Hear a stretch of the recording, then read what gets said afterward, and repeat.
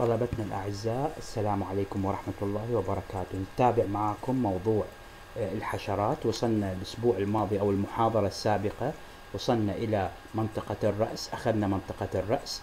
تحدثنا عن بعض الأبندجز بعض الملحقات لمنطقة الرأس. تحدثنا عن العيون المركبة عن العيون البسيطة وأخذنا بالتفصيل أجزاء الفم آه، بالنسبة لمنطقة الرأس. تعرفنا على أنواع آه، أجزاء الفم وأخذنا الأمثلة عليها.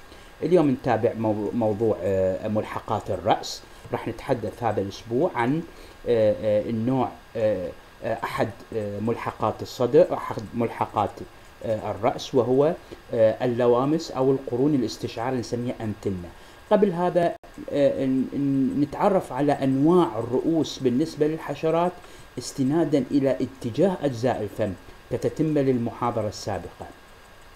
أنواع رؤوس الحشرات استنادا إلى استنادا إلى آه، اتجاه أجزاء الفم. يعني راح ناخذ أنواع رؤوس الرؤوس آه، according to the orientation of the mouth parts. عندنا ثلاثة أنواع. اذا هذه راح نتحدث عنها آه، الآن راح نتحدث عن أنواع الرؤوس في الحشرات استنادا إلى اتجاه أجزاء الفم استنادا إلى الاورينتيشن of the mouth parts. النوع الأول راح نتحدث عنه اللي هو ال prognathous head prognathous head يعني رأس نسميه رأس ذو أجزاء فم أمامية يعني اتجاه أجزاء الفم باتجاه آه، آه، آه، الأمام تكون. يعني ال mouth parts projecting forward يعني إلى الأمام متجهة horizontal المثال عليه اللي هو ال ground beetles لاحظوا هذه الرسمة. هذه هذه أجزاء الفم وهذا الرأس بالنسبة لهذا النوع من أنواع الحشرات. نلاحظ أجزاء الفم متجهة إلى الأمام باتجاه آه، الرأس. اذا آه، تسمى هذا النوع من أنواع الرؤوس في الحشرات تسمى prognathous مجموعة كبيرة من رؤوس الحشرات آه، تمتاز بهذا النوع بأنها تكون من نوع ال prognathous بنعطيكم مثال واحد فقط اللي هو ال ground beetles ال ground beetles يعني الخنافس الأرضية. هذا مثال على ال prognathous head النوع الثاني من أنواع الرؤوس اللي هو ال hypognathous head hypognathous head يعني رأس ذو ذو ذو أجزاء فم أسفل سفلية. ذو أجزاء فم سفلية. Mouth part projecting ta- downward downward. آه يعني اتجاه أجزاء الفم متجهة إلى الأسفل. ال hypognathous ال mouth parts بها projecting downward. يعني آه، أجزاء الفم مثل ما تشاهدون بهذا الرسمة هذا الرأس هذه الرأس بال- بالنسبة للحشرة وهذه اتجاه أجزاء الفم تكون إلى الأسفل.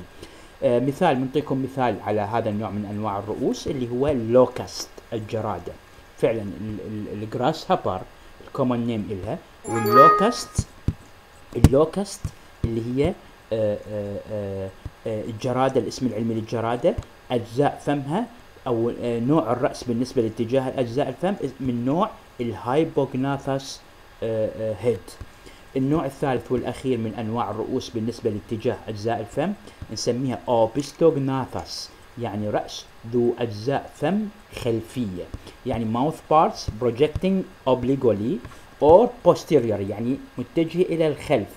آه، لاحظوا هذا ال- ال- الرسمة هذا النموذج أجزاء فم تكون متجهة إلى الخلف خلف يعني آه، آه، آه، من الجهة البطنية وبين الأرجل ومتجهة إلى الخلف خلف الحشرة. هذا النوع نسميه أوبستوغناثس أوبستوغناثس هيد يعني رأس ذو أجزاء فم خلفية. مثال عليه ال bugs اللي هو مجموعة ال- ال- الحشرات التي تمتلك مثل ما قلنا تمتلك أجزاء تمتلك أجزاء فم ثاقبة ماصة سميناها piercing sucking سميناها piercing sucking ثاقبة ماصة ومتجهة تكون إلى الخلف. هذا بالنسبة لي آه، آه، أنواع الرؤوس بالنسبة لاتجاه أجزاء الفم بالنسبة للحشرات. آه، نجي إلى الملحق الأخير من ملحقات الرأس اللي هي الأنتنة. الأنتنة اللي هي القرون الاستشعار نسميها اللوامس أو قرون الاستشعار. قرون استشعار تسمية أفضل. آه، طبعا ال- اللوامس المفردة مالتها أنتنة بدون الإي والجمع مالتها أنتني الجمع يعني جمع ال- آه، قرون الاستشعار. the antenna are a pair of sense organ إذا هي عبارة عن sense organs يعني أعضاء حسية خاصة located ne- near the front of the of the insect's head capsule يعني موقعها آه، ضمن آه، آه، منطقة الفرونت منطقة الجبهة اللي تحدثنا عنها الأسبوع الماضي. الانتنا are not much more than just testicular receptors يعني مو فقط وظيفتها شمية. they are usually covered with olfactory receptors يعني تكون أساسا مغطاة. هذه القرون الاستشعار تكون مغطاة بمستقبلات شمية خاصة. uh, مهمتها detect مهمتها detect odor molecules in the air. يعني مهمتها تستشعر الروائح العطرية الموجودة في جزيئات المواد العطرية الموجودة في الهواء. إذا sense of smell يعني يعني الشعور بالرائحة أو الإحساس بالرائحة. هذه هذه وظيفة من وظائف اللوامس. إذا الوظيفة اللي هي عبارة نقدر نسميها testicular receptors يعني contain recept cover with test testal receptor or or cover with olfactory receptors نفس الشيء أو نقدر نسميها detect odor molecules in the air هاي الوظيفة الأولى الوظيفة الثانية ممكن أن تستخدمها كهيوميديتي سنسر humidity sensor يعني شنو humidity sensor يعني متحسسات للرطوبة uh, so detect to the changing to the change in the concentration of water vapor. يعني uh, تستشعر التغيرات اللي تصير في جزيئات تركيز الرطوبة الموجودة في في الهواء. هذه أيضا وظيفة ثانية من وظائف اللوامس. اذا عندنا وظيفة اللي هي وظيفة sense of smell أو نسميها or or detect the the odor molecules. In the air هاي وظيفه humidity sensor or detect changes in the concentration of water vapor in the air هاي هاي هاي وظيفتين الوظيفة الثالثة ممكن أن تكون sound uh, detect sound. يعني تتحسس الصوت. عندنا uh, حشرات محددة مثلا الموسكيتوز البعوض. الوظيفة اللوامس بها detect sound يعني تتحسس الصوت. واضح؟ هذه وظيفة ثالثة من وظائف اللوامس. أيضا عندنا وظيفة أخرى ممكن أن, أن تضاف اللي هي measure the air speed يعني يعني تقيس سرعة الرياح. هذه مهمة جدا في في في كثير من الفلايز اللي هي الذبابيات. اللامسة تعمل ك تسوي measure to air speed تقيس سرعة الرياح. حتى الحشرة تستطيع الطيران خلال هذا الجو أو لا تستطيع. إذا لا إذا كانت سرعة الرياح كبيرة فنلاحظ الحشرة تتوقف عن الطيران وتستقر على الأشجار مثلا. هذه الوظيفة تقوم بها اللوامس بأنها تسوي measure measure the air speed يعني تقيس سرعة الرياح. عندنا عندنا إذا صار أربعة وظائف محتملة للوامس أو لقرون استشعار. Detect odor molecules in the air. هاي واحدة. اثنين detect the changes in concentration of water vapor. اثنين detect sound ممكن أن تكون مثل ال mosquito. ممكن أن نسوي measure to air speed هذه الصفات أو هذه الوظائف الأربعة المحتملة للوامس مكونات اللوامس. مكونات اللامسة في الحشرات. مما تتكون الحشر اللوامس. تتكون أساسا من ثلاثة مناطق رئيسة.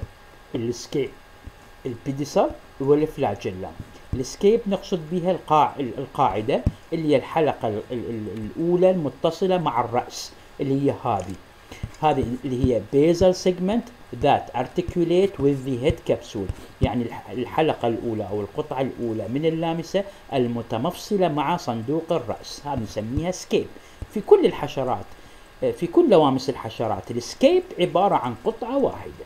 القطعة الثانية اللي نسميها ال pedicel السويق أو الحامل هي اللي تمثل ال second antennal segment اللي هي هذه pedicel طبعا أيضا في معظم أو في كل لوامس الحشرات أيضا هي عبارة عن قطعة واحدة.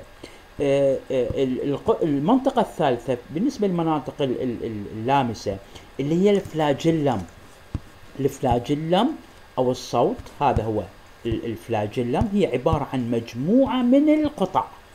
الفلاجيلم عبارة عن all remaining segments individually called flagellomere يعني تسمى مفردة تسمى بالفلاجيلومير. كل واحدة من عندها فلاجيلومير. طبعا اللوامس في الحشرات متنوعة الأشكال. آه، راح ندرسها لاحقا. التنوع هذا يأتي من خلال تنوع شكل ال flagellum.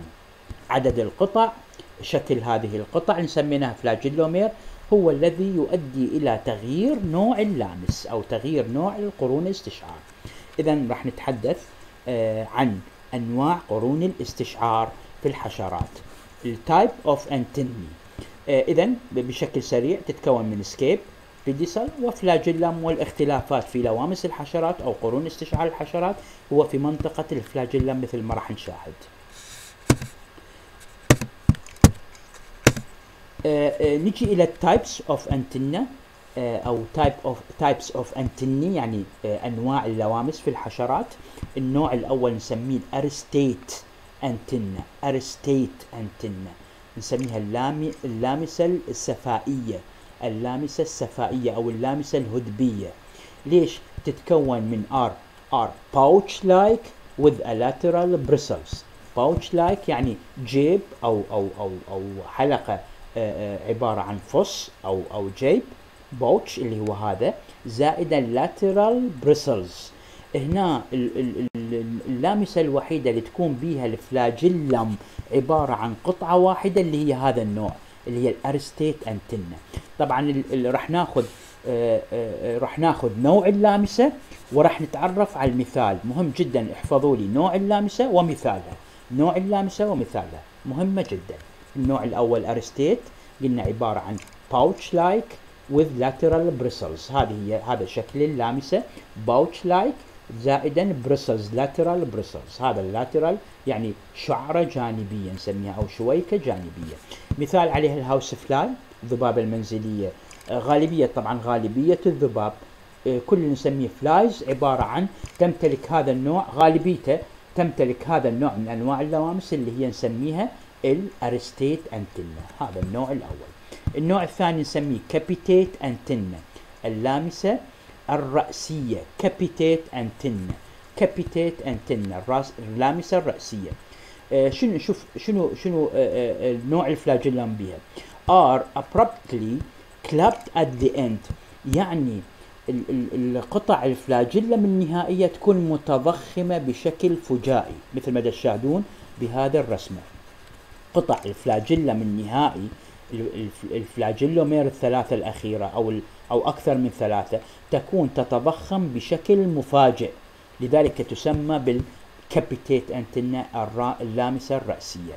المثال على هذا النوع من أنواع اللوامس اللي هي ال carrion beetles نسميها الخنافس الجثث carrion beetles. تتذكرون في المحاضرة الأولى قلت لكم بأن هنالك آه، آه، فرع من فرع من فروع علم الحشرات نسميه علم الحشرات الجنائي اللي هو ال forensic entomology.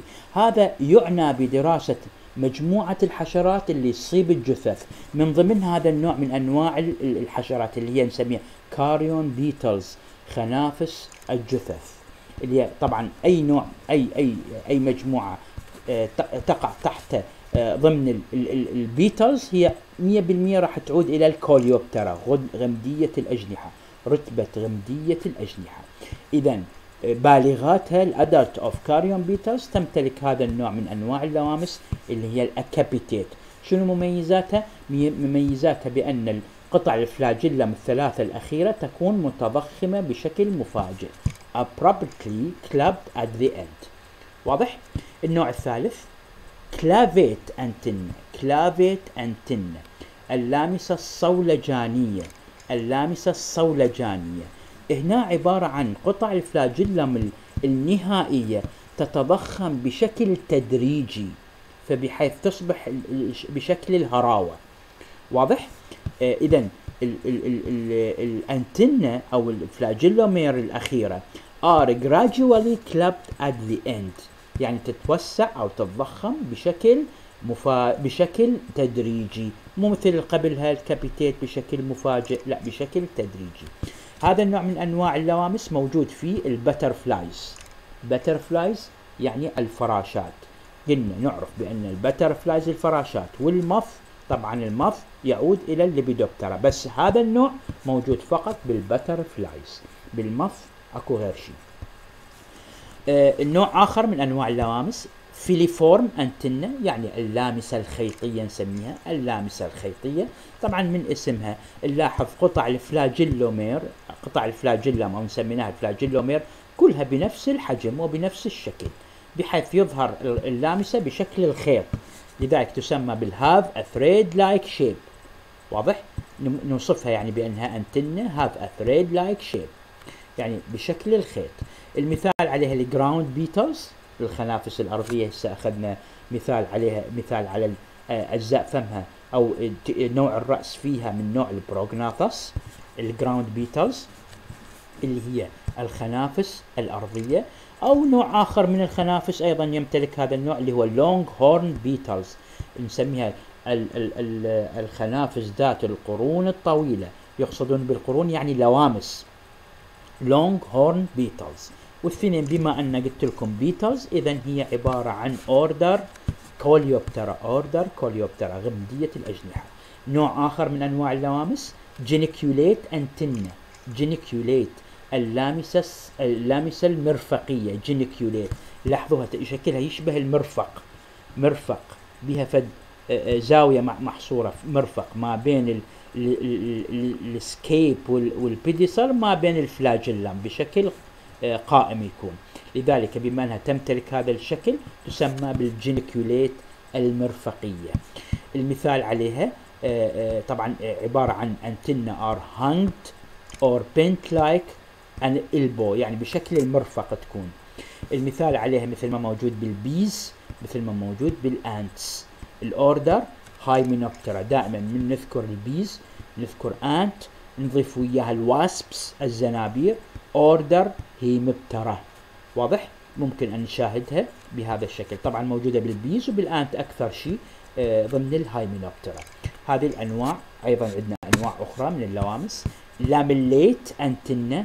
lamellate antenna يعني اللامسة الصفائحية صفائحية. لين؟ قطع ال flagellum النهائية بشكل plates. nested plates على شكل nested plates على شكل plates إما أن تكون مندمجة مع بعضها البعض أو تكون مفتوحة. ممكن أن تكون مفتوحة ممكن أن تكون مغلقة مثل هذا الشكل. اذا هذا ال scape هذا ال pedicel هذه قطع ال flagellum وقطع ال flagellum النهائية اللي هي هاي بشكل ال nested plate لذلك تسمى بال lamellate antenna اللامسة الصولج اللامسة الصفائحية. طبعا موجودة بال scarab. beetles scar scarab beetles sorry scarab beetles أو عائلة نسميها عائلة ال Scarabaeidae نوع من أنواع الخنافس نسميها Scarabaeidae العائلة نسميها Scarabaeidae أو ال scarab beetles اللي هي نسميها خنافس خنافس الروث أو خنافس الجعلية. خنافس الجعلية أو خنافس الروث الروث تمتلك هذا النوع من أنواع اللوامس. نوع آخر من أنواع اللوامس أو قرون الاستشعار قلنا أفضل من اللوامس قرون الاستشعار اللي هي ال moniliform ال moniliform antenna القرون الاستشعار آه، آه، آه، تكون بشكل القلادية بشكل القلادة يعني قطع قطع ال flagellum تكون بشكل حبات القلادة أو حبات المسبحة. واضح؟ bead like shape بشكل حبات المسبحة أو حبات القلادة. آه، موجودة بال termites هذا النوع termites اللي هي الأرضة. termites دائما قلت لكم. تذكر ال termites تذكر ال order اللي هو ال Isoptera متساوية الأجنحة. termites Isoptera. هذا نوع. نوع آخر pectinate antenna pectinate اللامسة آه، آه، المشطية. pectinate مشطية. pectinate اللامسة المشطية. لاحظوا أكو projection لكل حلقة من حلقات ال flagellum باتجاه واحد بحيث يظهر بمنظر المشط لذلك تسمى مشطية اللامسة المشطية. واضح؟ أو قرن الاستشعار المشطي. إذا pectinate antenna have a comb like shape. دائما نركز بالوصف نوصف ال flagellum. الاختلافات قلنا دا تصير عندنا في منطقة ال flagellum. النوع هذا النوع من أنواع اللوامس القرون الاستشعار اللي هو ال pectinate في موجود بال fire firefly beetles. خنافس المضيئة هذه الخنافس اللي تمتلك هذه النوع من أنواع الإضاءة ال firefly beetles. واضح؟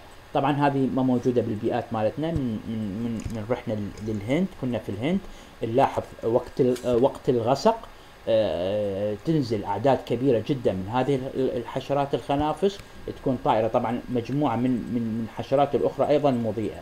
بس إحنا نتحدث عن ال fire firefly beetles اللي تمتلك هذا النوع من أنواع اللوامس اللي أو القرون الاستشعار اللي هي ال pectinate antenna pectinate antenna عندنا أيضا bipectinate نوع آخر نسميه bipectinate antenna bipectinate يعني مشطية مضاعفة. تعرفون يعني مشطية مضاعفة يعني ال projection الموجود بال flagellomere من كلا الجانبين بهذا الشكل لذلك تسمى مشطية مضاعفة bipectinate مشطية مضاعفة. Having two margin tooth like comb, uh, a, comb like a comb.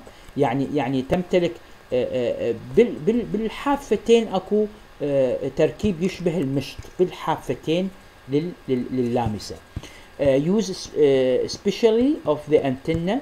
certain moth موجود في في بعض أنواع العث مثل عائلة ال Lymantriidae. Lymantriidae نوع من أنواع العث موجود.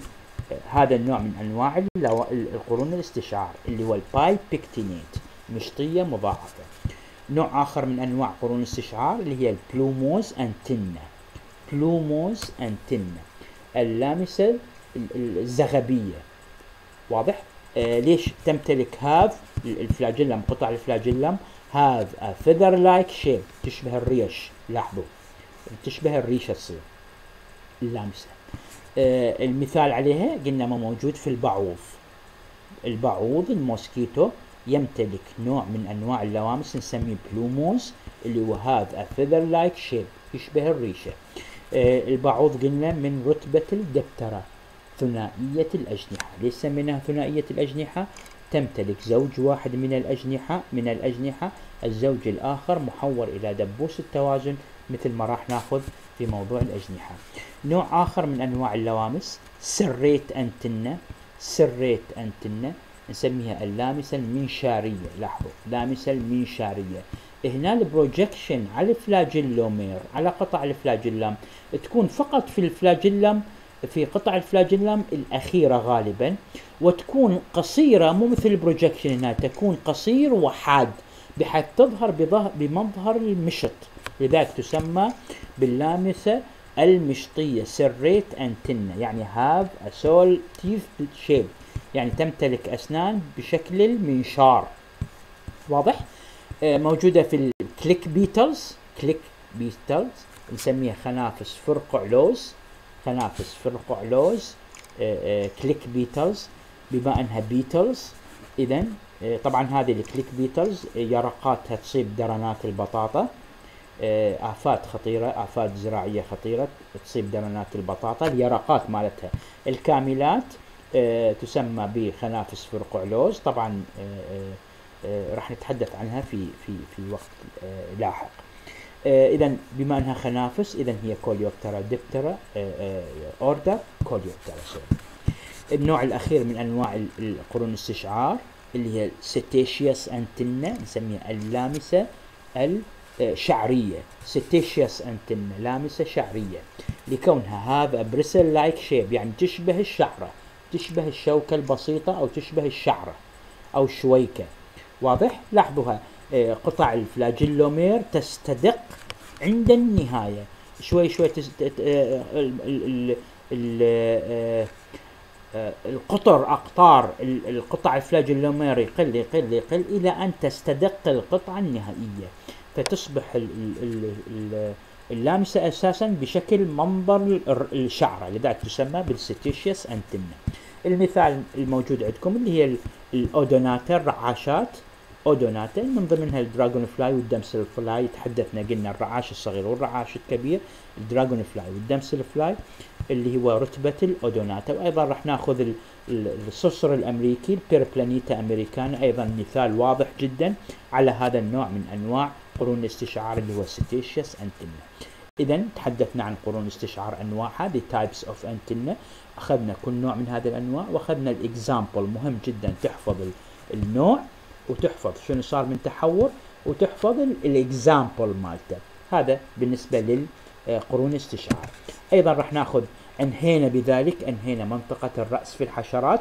نجي إلى المنطقة الثانية من مناطق الجسم.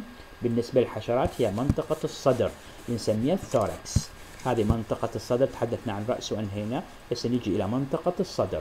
راح ناخذ الصدر كمنطقة مع أجزائه وراح ناخذ ال appendages مالته اللي هو اللي هو الملحقات ملحقات من أجنحة wings من أرجل.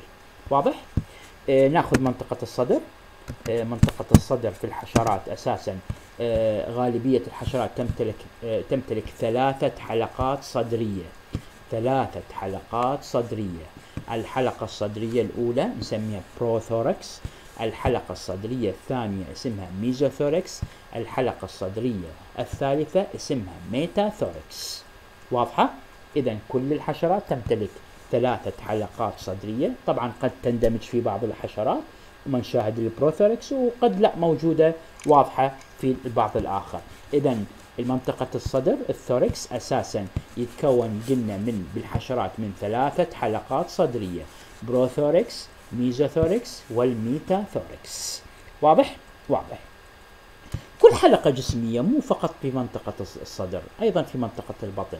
كل حلقة جسمية تتكون من أو تتغطى يعني تغطيها ثلاثة صفائح مهمة جدا.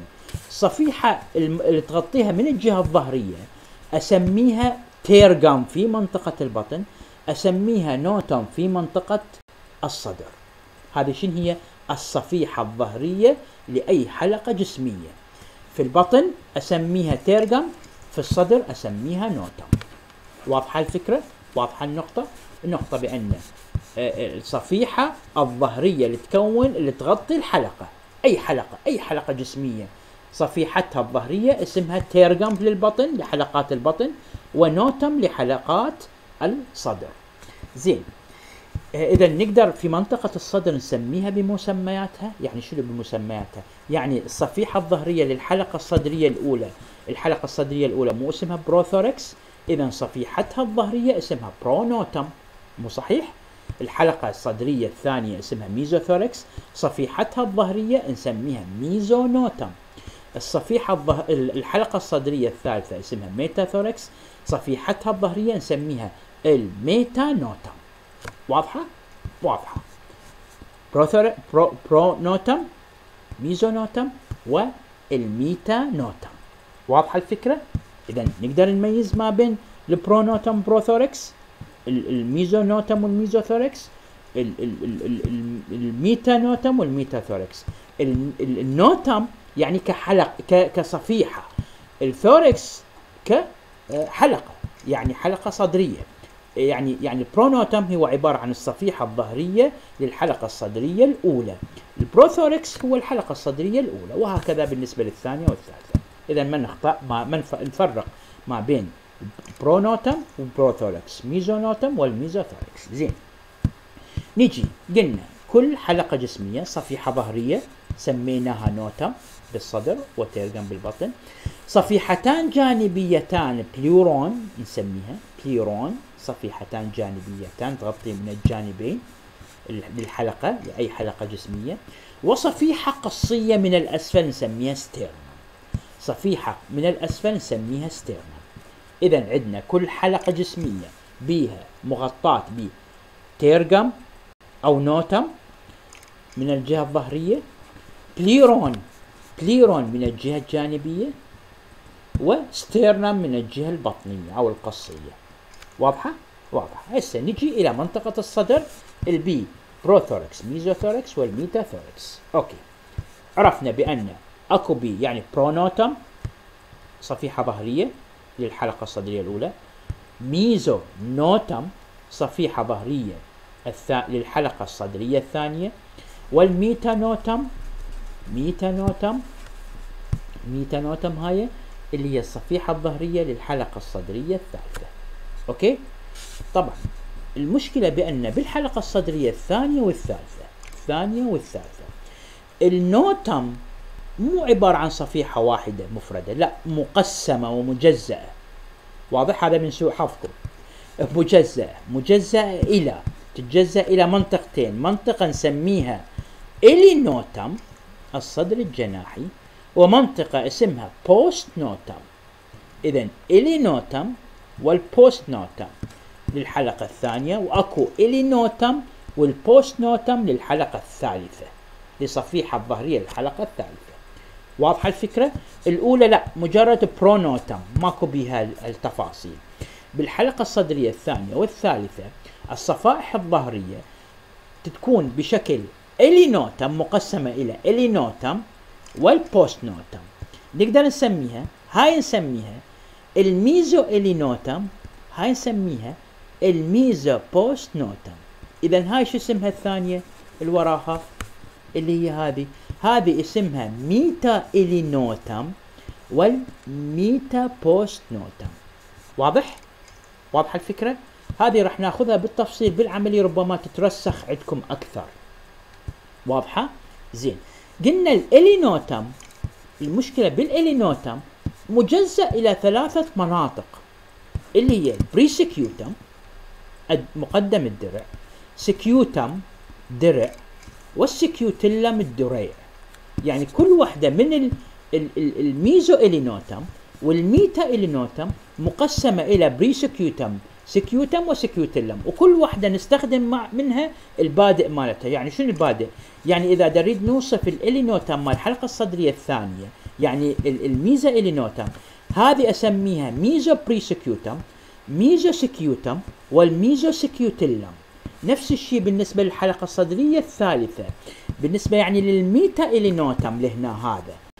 يعني أسميه meta prescutum meta scutum و meta scutellum هذه مثل ما قلت لكم راح تترسخ أكثر من راح ناخذها بالجزء العملي راح ندرس الجزء العملي. الصفائح الجانبية أيضا مقسمة إلى إلى صفيحتين. صفيحة تسمى episternum فوق القص. okay؟ هذا episternum وصفيحة أخرى epimeron هنا الحلقات الصدرية الثلاثة كلها بيها episternum epimeron episternum epimeron. episternum epimeron. وكل واحدة اسمها باسم البادئ مالتها. يعني شنو؟ يعني مي يعني هذا مو ال prothorax هذا هذا ال pro episternum وال pro epimeron. هذا ال meso episternum وال meso وال meso epimeron. هذا ال meta episternum وال meta epimeron. ومثل ما قلت لكم هاي راح ناخذها بالتفصيل. وراح ناخذ أيضا تفاصيل تقسيم ال sternum أيضا أيضا راح تتقسم بشكل آه، واضح وكبير.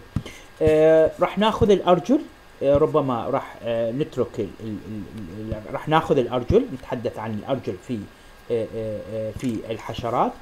الأرجل هذا الملحق يعني راح ناخذ ملحق من ملحقات الصدر. الأرجل أساسا في الحشرات متنوعة ومتعددة ووظائفها مختلفة مثل ما راح نشاهد مو فقط لغرض المشي. هنالك حشرات تستخدم لغرض الأرجل مالتها لغرض السباحة لغرض القانص مثل ما راح نشاهد. واضح؟ إذن عندنا آه، آه، آه، زوجين من الملحقات لكل حلقة صدرية. زوجين من الملحقات. ما عدا الحلقة الصدرية الأولى بها فقط زوج واحد من الملحقات اللي هي الأرجل ما بيها أجنحة. الحلقة الصدرية الأولى الحلقة الصدرية الأولى ملفقاتها من هذا شوفون غير تكون غير مقسمة. غير مقسمة بشكل كبير مثل باقي الحلقتين الصدريتين. بها فقط ترتبط فيها فقط زوج من الأرجل. ما بها ما ترتبط بها زوج من الأجنحة. لذلك أقل تعقيدا تكون. الأرجل أساسا في الحشرات كنا متنوعة. طبعا إذا نروح إذا نشوف توزيع الأرجل في الحشرات يوجد زوج على كل حلقة صدرية يوجد زوج من الأرجل. زين الأرجل عندنا الأرجل في الحشرات تتكون من آه، من الأجزاء الآتية آه، تتكون من ال coxa الحرقفة ال trochanter المدور وال femur آه، الفخذ tibia اللي هي القصبة وأخيرا ال tarsus هذه هي مكونات أو أو مناطق الأرجل. coxa هذه هي ال coxa البنفسجي. اللون البنفسجي هاي منطقة التمفصل مع مع الصدر مع الحلقة الصدرية. هذا الجزء هذا الجزء يدخل بداخل الحلقة الصدرية اللي هو ال coxa ال trochanter المدور اللي يربط بينه وبين ال coxa ال coxa وال وال وال وال والجزء اللي وراء ال trochanter المدور اللي هو ال femur الفخذ هذا ال femur. هذا غالبا يكون متطاول في بعض الأحيان يكون قصير قد طبعا قلما من الحشرات يكون قصير هي غالبيتها تكون متطاول ال femur التيبيا تكون بشكل آه، آه، اللي هي القصبة تكون هذه المتطاولة هي التيبيا وغالبا تكون عليها أشواك وشعيرات. منطقة التارسز هي الجزء الأخير منطقة التارسز. الجزء الأخير عبارة عن عدد من الحلقات تختلف باختلاف نوع الحشرة. هذه عدد الحلقات في التارسز الرسخ. إذا هذه هي أجزاء الرجل. coxa حرقفة trochanter مدور femur فخذ tibia آه قصبة و tarsus اللي هي رسغ. هذه المكونات أو آه أجزاء الأرجل. طبعا الجزء الأخير سميناه tarsus إحنا. آه كل ما يقع ما بعد ال tarsus أسميه ال pretarsus يعني هذا تابع ملحق مع ملحقات الأرجل. نسميه pretarsus إذا term ال pretarsus refers refer to to the terminal segment of the tarsus and any other structure attached to it يعني أي جزء مرتبط بالجزء الأخير من ال tarsus أسميه pretarsus واضح؟ هذا ال pretarsus في الحشرات متنوع ممكن أن يكون عدة أشكال مثل ما راح ندرسها واضح؟ وكل نوع آه، آه، من الحشرات تمتلك هذا التحور في في هذا ال pretarsus زين ال pretarsus إما أن يكون بشكل ungues ungues اللي هو زوج من ال claws زوج من المخالب. pair of claws يعني زوج من المخالب ال ungues واضح؟ اذا ممكن أن يكون ungues ال pretarsus ممكن عرفنا شنو معناته ungues هاي يجي ك ك ك definition تعاريف طبعا. أو يجي ك ك آه، آه، يعني تعداد list down. The, the, the pretarsus in the legs of insects. تذكر لي هذين الأربعة. إذا الأنجس هو a pair of claws يعني زوج من المخالب. الأروليوم أروليوم الأروليوم اللي هو عبارة عن a loop or adhesive pod between the claw. يعني عبارة عن فص أو فص يعني adhesive آه، قابل للالتصاق pad adhesive pad يعني عبارة عن آه، فص قابل للالتصاق آه، between the claw ما بين المخالب. اذا arolium arolium عبارة عن lobe فص or adhesive pad between the claws أو يكون بشكل empodium empodium عبارة عن a large bristles يعني عبارة عن شوكة كبيرة large bristles or a large lobe أيضا between the claw إذا أكو فرق ما بين ال arolium وال empodium. arolium عبارة عن lobe or adhesive pad between the claw ال empodium عبارة عن a large bristles or a large lobe. واضح؟ وأخيرا ممكن أن يكون ال pretarsus عبارة عن pulvilli pulvilli عبارة عن pair of adhesive pad مجموعة من ال ال الأزواج من وسائد الالتصاق. واضح؟ اللي هي ال pulvilli أسميها ال pulvilli اذا هذه الأربعة الأشكال الأربعة الممكن أن تتواجد عليها ال pretarsus ال pretarsus قلنا عبارة عن all terminal segment of uh, to the tar of the uh, ننهي uh, محاضرتنا والأسبوع القادم إن شاء الله راح ناخذ الموديفيكيشن of insects legs التحورات التي آه، ممكن أن تحدث في آه، آه، في أرجل الحشرات، الأرجل الحشرات مثل ما قلت لكم متنوعة ومتعددة الأغراض، ممكن أن تستخدم للسباحة، للقفز، للصيد وهكذا مثل ما راح نتعرف الأسبوع القادم. وشكرا لكم موعدنا إن شاء الله بال Google meeting إن شاء الله.